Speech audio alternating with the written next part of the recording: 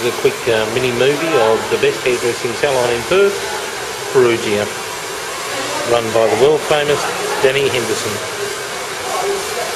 Stylist to the stars.